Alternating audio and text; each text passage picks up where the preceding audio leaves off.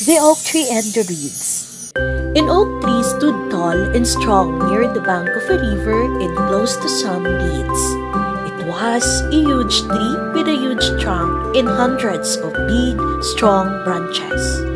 The oak tree was so proud that he used to boast openly about his strength.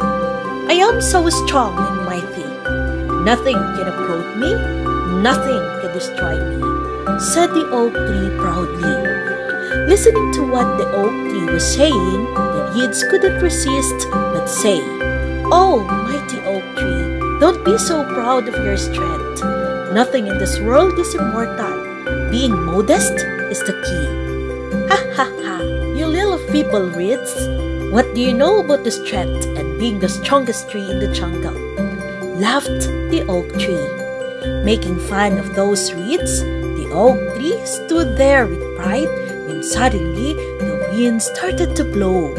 The reeds bowed their heads as the wind started getting stronger. Watching this, the oak tree said, You're so petite and weak. The slightest of winds make you bow your heads. How would you survive the strongest of storms? Soon, the winds turned into a hurricane, and the oak tree, standing straight with pride, continued to laugh at the reeds. Oh, tree, you might be big and strong, but you need not worry about us.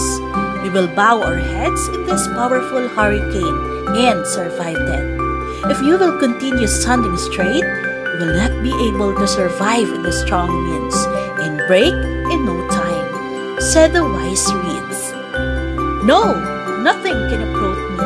I am the strongest and will continue to stand tall and never bow down no matter what, said the arrogant. The winds got more furious, and soon the hurricane took its peak. The little reeds kept their heads bowed and started swinging in the rhythm of the wind, preventing themselves from getting uprooted. But the oak tree, which stood straight and tried fighting the hurricane winds, soon broke down and fell in the river. No, this is not possible, cried the tree. See, we told you, you just learned a lesson.